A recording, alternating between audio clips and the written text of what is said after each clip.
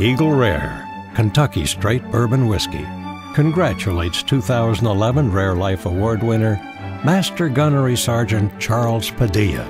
And we're proud to recognize the courage, leadership, survival, devotion, character, and heroism of all who participated. Who will be next year's Rare Life Award recipient? That's up to you. Eagle Rare is now accepting nominations for the 2012 Rare Life Award, honoring those who share our spirit of excellence, those who make a difference, those who impact their world, those who lead rare lives. For six finalists, Eagle Rare Kentucky Straight Bourbon Whiskey will donate $2,000 to the charities of their choice.